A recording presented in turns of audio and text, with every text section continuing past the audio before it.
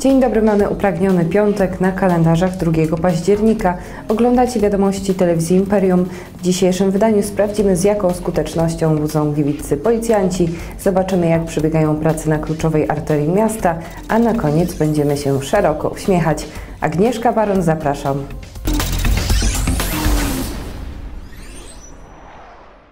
Znamy już wyniki ostatniej porannej pobudki przeprowadzonej przez gliwickich kryminalnych. W środę o 6 nad ranem funkcjonariusze przystąpili do akcji Poszukiwany. W wyniku działań podjętych przez policjantów ze wszystkich komisariatów oraz Wydziału Kryminalnego zatrzymano pięć osób ukrywających się przed wymiarem sprawiedliwości.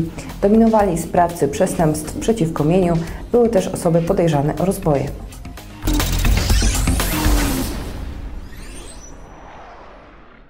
Ważna informacja dla kierowców. Na przyszły tydzień zaplanowano zakończenie robót na przebudowywanej w związku z budową drogowej trasy średnicowej ulicy Zwycięstwa.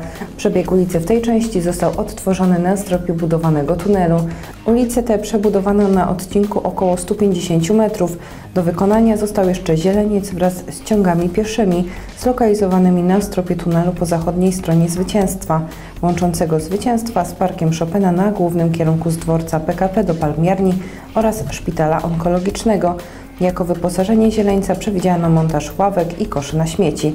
Wzdłuż ciągów pieszych zostaną także nasadzone drzewa. Na razie jednak nie wiadomo, kiedy nowym odcinkiem przejadą kierowcy. Dokładny termin oddania ulicy do użytkowania uzależniony jest od uzgodnień z Gliwickim Zarządem Dróg Miejskich.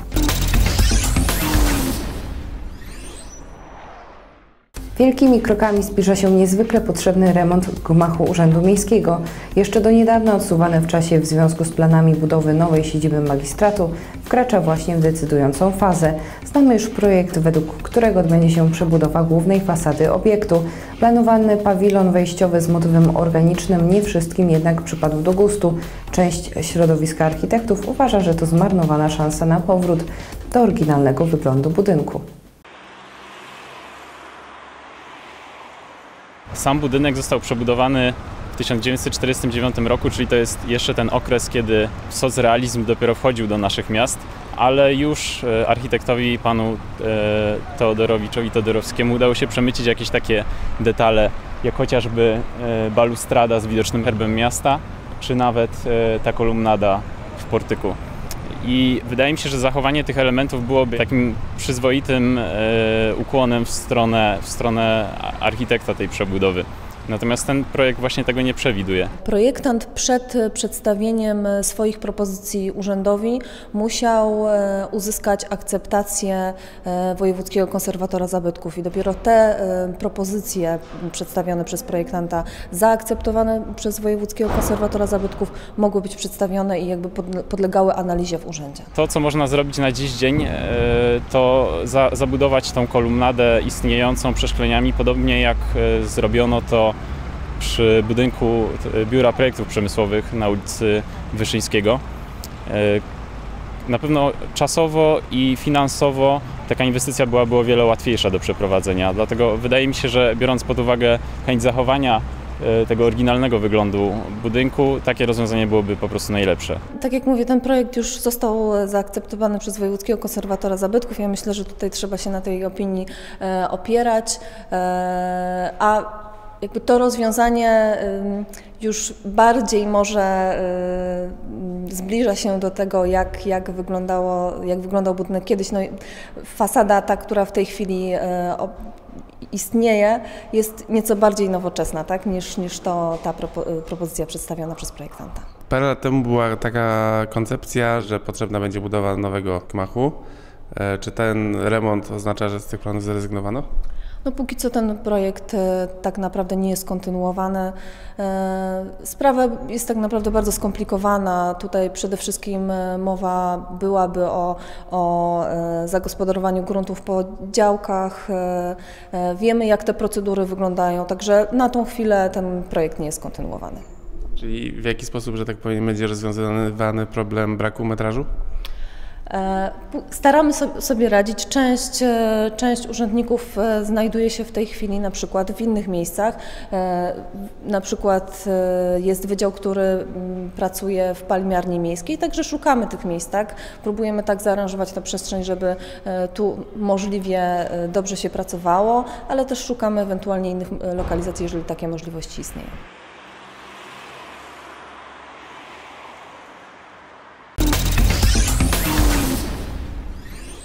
Dziś zachęcamy Państwa do uśmiechu, ale nie tylko z powodu dzisiejszego święta Dnia Uśmiechu. Z tej okazji nasze gliwickie fauny przeszły kolejną metamorfozę. Zorganizowano także ciekawe akcje w różnych częściach miasta.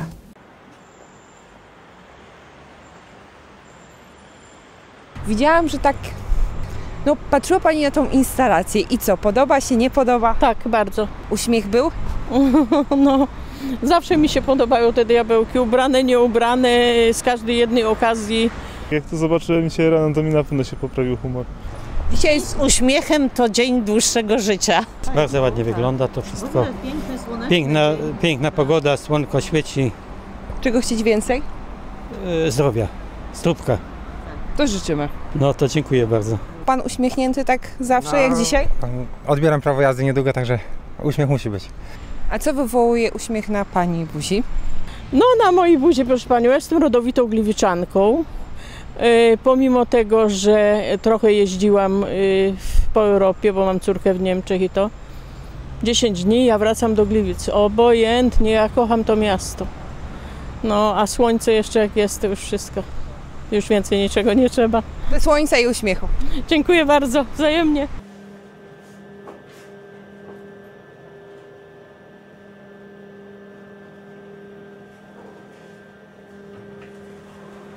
Mamy piątek, początek weekendu i początek tygodnia uśmiechu.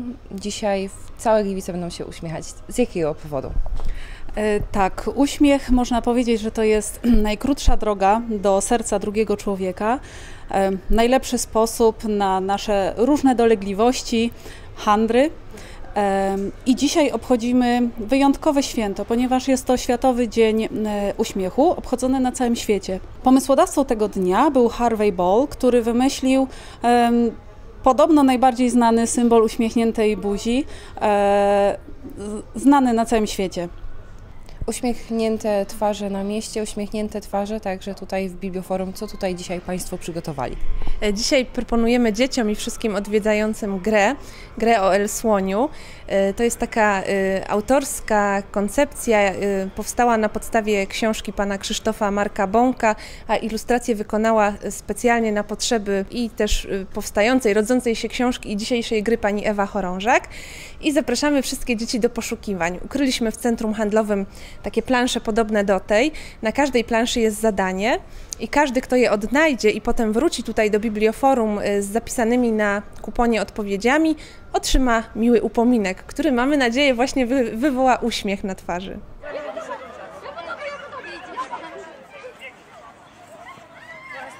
Dzisiaj te atrakcje przygotowane przez placówki oświatowe, poradnie psychologiczno-pedagogiczną skierowane do gliwiczan, y, do uczniów y, szkół podstawowych. Mamy gry i zabawy, mamy malowanie twarzy, mamy spotkanie y, w ramach dogoterapii, jest trampolina, jest to wszystko, co cieszy i bawi. Po to, aby jak najdłużej ten uśmiech trwał na twarzach najmłodszych. Właśnie zmiana stanowisk. Klaun i inne postacie z baśniowych przedstawień Gliwickiego Teatru przeprowadzają dzieci do kolejnych atrakcji.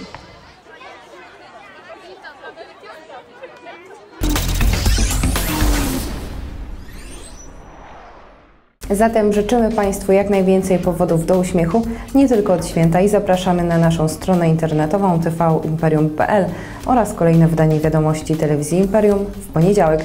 Miłego popołudnia i weekendu.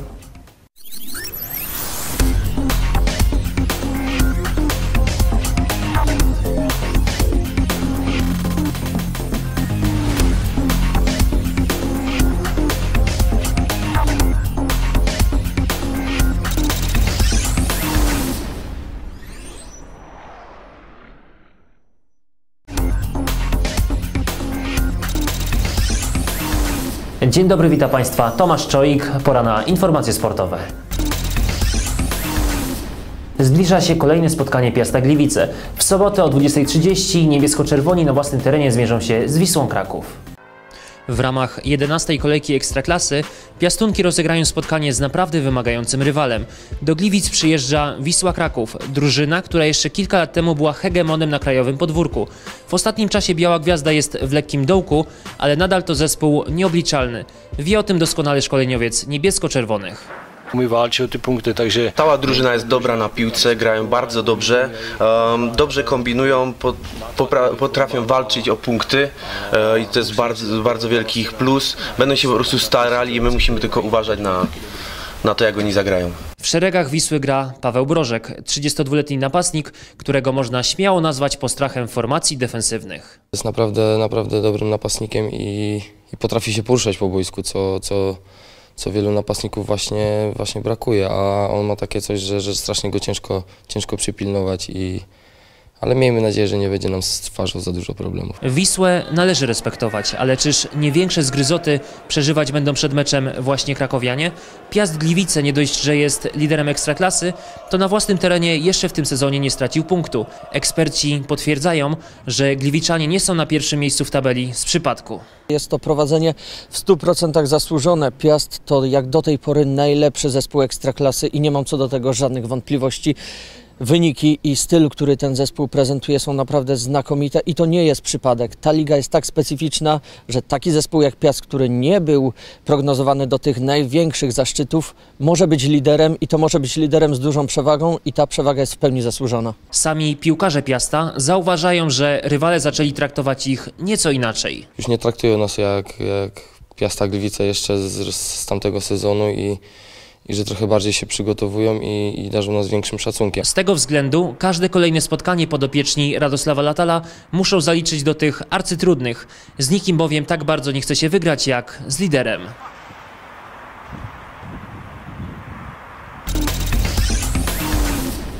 Po trzech latach przerwy siatkarki AZS-u Politechniki Śląskiej znów zagrają w pierwszej lidze. Akademicki sezon rozpoczną dzisiaj wyjazdowym meczem z budowlanymi Toruń. Ostatecznie do rozgrywek przystąpi 12 zespołów, bo przed sezonem z gry zrezygnowała ekipa Jastrzębie Borynia. Runda zasadnicza potrwa do połowy marca. Celem akademiczek jest zajęcie miejsca w czołowej czwórce pierwszej ligi. Dziękuję za uwagę, do zobaczenia.